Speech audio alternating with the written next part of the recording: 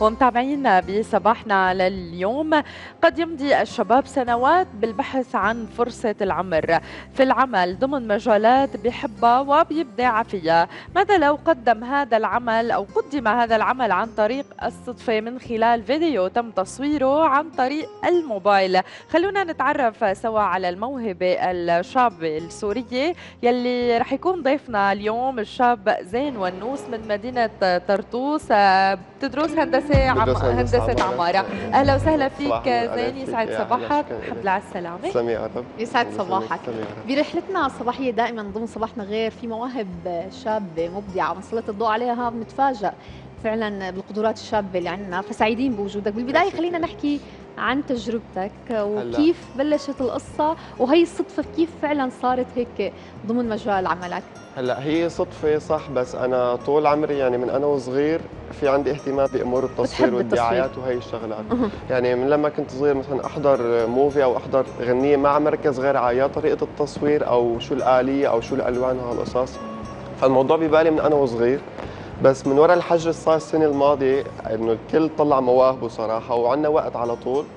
فكان من مواد أو يعني بدائية موجودة بالبيت ومع التليفون قدرت إنه أصور product عصير و نشرته ما كنت متوقع إنه العالم يمكن تحبه أو شيء فانتشر ومن وقتها تشجعت إني أعمل page ويصير علي شغل وقصص نعم خلينا نحكي عم نشوف على الشاشة آه، أفكار جديدة آه، ل models آه، هن مشاركين معك من أعمار مختلفة عم يعملوا يمكن تمارين رياضية في رشاقة بالموضوع ولكن style جديد يمكن بعيدا. عن إنه هيك ولا لا هيك لا. البدائية. خلينا نحكي عن ال style واختيار العارضات وخلينا نحكي أيضا عن الأفكار. مين بحطها؟ هلا الصراحه أنا عم حطها. يعني أنا عم يجيني الشغل والعالم عم تحب تتعرف علي أكثر من وراء إنه الأفكار اللي أنا عم بطرح لهم إياها. يعني غير طريقة التصوير هن عم ينجذبوا للفكرة قبل أيام بس مثل الفيديو اللي انعرض هلا أنت رح تفاجئ إنه هذا فيديو ل beauty salon يعني لشيء للشعر ولل make up ومع هيك كان في مثل مانو models هدول راقصات حتى بيعملوا رقص تعبيري والمدربه والتلاميذ تبعونا هن اللي حطوا ال make up والشعر والقصص.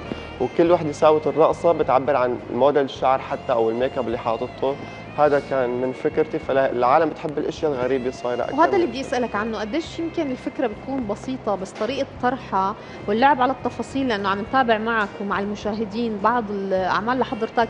بتلعب يمكن على الوتر الحساس. لما نشوف حتى طريقة عرض الصبية أو السيدة سابقا كنا نشوف استعراض لجمالها. لا اليوم الوضع مختلف. تمام. ممكن أنا أعرض من خلال الفكرة مثل ما قلت صالون على المكياج والشعر بس قوة السيدة بطريقة طرحها بصورة جميلة. هي الأفكار قديش مهمة اليوم طرحها قديش في لها ردود فعل فعلا على الصعيد. يمكن المحيط آه، لإلك كان فيها ردود جميلة. تماما. هو الشيء اللي بيميز هالأيام شو ما كان الشغل هو الفكرة اللي عم تنطرح. إذا موجود كثير قبل أو لا. okay في صالونات كثير okay في آه، محل إكسسوارات كثيره مثلا هلأ كمان انعرض بس طريقه طرحها للفكره يعني أنت لازم تطرحيها بفكرة مميزة وما تعتمدي على جمال الشخص اللي عم بتصوريه. يعني أنا ما عم بتطلع على الشكل بتطلع على الطريقة اللي ممكن يساعدني بتقديم الفكرة أكثر. تمام وبسوريا عفوا بسوريا كثير عندنا مناطق آه، جميلة وخاصة بطرطوس. مو بس عندنا البحر عندنا الأرياف آه، أرياف طرطوس كمان رائعة الجمال. خلينا نحكي كمان عن اختيار المناطق آه، يلي كمان لها حكاية وإلى آه، يعني كمان لها غاية من بالعرض. هلأ آه، في شغلتين ثلاث شغلات بيساعدوني لما لطلع شغل حلو هو إنه أنا والشخص اللي عم يساعدني بالتصوير الموديل كانت أو الشخص والمكان. ولازم يكونوا مرتبطين كلياتهم مع بعض ليطلع الشغل كثير تمام؟ فالمناطق الحمد لله بسوريا كثير حلوة كثير مساعدة إنه شو ما كانت الفكرة إجباري حتلاقي منطقة بتساعدك لتوصلي الفكرة للمشاهد أكثر ولما بلشت الشغل هي ملاحظة إنه لما بلشت الشغل كان في حجر والكورنيش اللي هو أحلى منطقة تقريبا بطرطوس كان ما فينا نوصل له حتى. فأنا الفيديوهات اللي بلشت فيها صرت ادور على مناطق بطرطوس ما أنا كثير معروفة بس كثير ساعدتني بال لورجي العالم حتى يمكن برا إنه في مناطق حلوة بطرطوس. في مناطق جميلة تضاهي آه، أوروبا وهون عم تبين من خلال طرح الصورة وتصوير العدسة. ردود الأفعال كيف كانت على هي الأعمال؟ لما عم نشوف طريقة طرح مختلفة أفكار غريبة لكن جميلة. وبنفس الوقت عم نحكي عن مواهب شابة مبلشة مع بداية الطريق. فدائما بتلاقي مثلا في حدا قديم بيكون مستغرب من طريقة شغلك. كيف كانت ردود الأفعال بالمحيط؟ فينا هلا الصراحه أنا لما بلشت كنت يعني هيك إنه خايف إنه شو شو عم ساوي؟ يعني أوكي في شيء ببالي بس عم ببعت عم ورجيه للعالم عم ورجي عقلي للعالم. وعن طريقة غريبة يعني فاول شيء كنت خايف صراحة أو ما كثير متأكد من اللي عم أقدمه بس يعني تقريبا الحمد لله معظم المعارف والأشخاص اللي بعرفهم أو اللي ما بعرفهم آه، شجعوني أكثر إني كفي بهذا الموضوع لأنه عم ينبسطوا يعني. وغير هيك إنه ما يعني شيء جديد على شغلات عم بيشوفوها فعم يتحمسوا لسه يشوفوا أكثر وهالشيء عم بيساعدني إني ضل. يعني في في أشياء حلوة أكيد. نحن فخورين بأي موهبة شابة هي عم يمكن تنضج بظروف مرقت علينا ظروف حرب ظروف كورونا ظروف اقتصادية آه، صعبة. آه، برافو عليك يا زين. ولكن خلينا نحكي اليوم ال social media أكيد هو عالم آه، كثير كبير. فيك توصل للعالمية من خلاله. اليوم في أسرار للتصوير في أسرار لل يمكن الإخراج في أسرار لإعطاء الفكرة. عم نشوف في ألوان مختلفة للكاميرا عم تعتمد على ألوان محددة وتكنيك محدد. خلينا نحكي شوية عن أسرار التصوير. هلأ آه هلأ هي أكيد أي حدا عنده سر بيميزه عن غيره. هلأ أنا okay ما هو هو ما انه سر تكنيك يعني الواحد فيه يفوت يوتيوب سر نجاح خلينا نقول له ما انه سر مخبى هو الشيء الوحيد صراحة إنه قدرت أوصل اللي ببالي مثل ما أنا بدي تماما بدون تأثير أي حدا علي. يعني أنا لو تأثرت بكلمة أو اثنين أنا ما كنت رح أتميز أو حدا رح يعرف اللي عم بشتغله أه. ولما حدا يقول لي كيف الطريقة اللي صورتها أو كذا أكيد عم أقول. يعني بالنهاية بالتليفون الكل معه هلأ أكيد تليفون وفيه يعمل مثلي وأحسن. بس طالما أنت واثقة بالفكرة اللي عم تقدميها ما يعني ما حد خاف إنك تعطي سرك أو نجاحك أو شيء لحدا لأنه رح تضلي مميزة قد ما كان. يمكن كل مصور له بصمته الخاصة. يعني بيقول لك بعدستي أنا بعيني بشوف يمكن أنا من الزاوية شوف لون العيون الصبية أنت بتكون شايف شعرها. نظرتها تختلف آه، كل مصور ولمسته الخاصة. لما بلشت شغل كان في تخوف من الطرف الآخر بالعمل معك؟ يعني اللي عم تصوره اللي عم تصوره مثلا أو مثلا مثل ما قلنا المنتجات لشركات أو لصالونات. لما شافوا الفكرة وطرحتهم عليها قبل ما تطبقها على الواقع كان في تخوف شوي تردد ولا لا؟ كانت في هو نوعا ما مجازفة أو مغامرة فينا هي هي أكيد مغامرة لسببين. السبب الأول فكرة غريبة سبب ثاني أنا لسه ما فايت كثير بالحياة العملية. أنا لساتني انه okay حأتخرج. بس أنا طالب وبعد مثلا دوام أنا عندي مثلا قاعدة مع شخص عنده product بده أنا أصور له إياه وهو business له أنا ما فيني أخرب له إياه من وراء الدعاية. صحيح.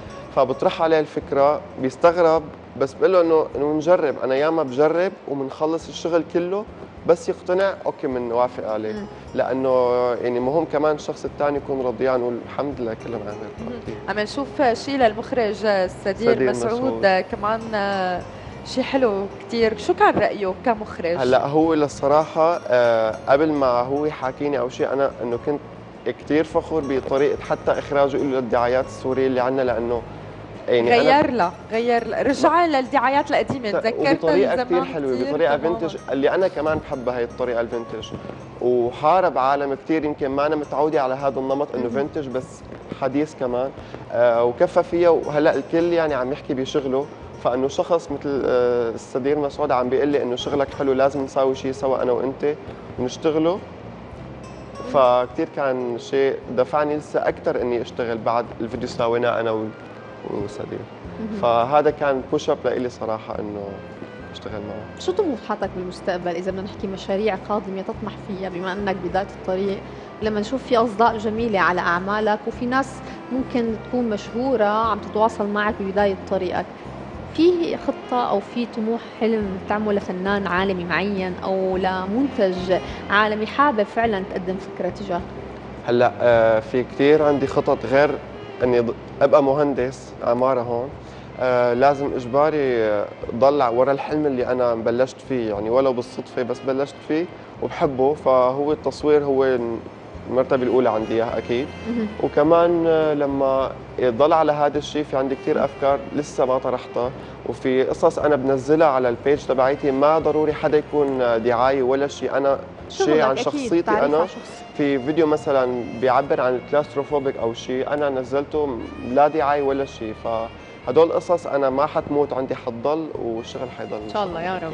زين آه، خلينا نرجع لقصة ال social media. آه، يلي كمان هي اليوم كتير لها أثر وبتدخل على كل بيت. أكثر يمكن من من أي وسيلة تانية وأكثر من التلفزيون صارت للأسف. خلينا نحكي اليوم انتشارك على ال social media قديش يمكن حقق لك آه، نوعا ما أو القليل من مجهودك. قد فتح لك أبواب إنه يكون عندك يمكن فرص عمل لناس مو بس بطرطوس خارج سوريا أيضا.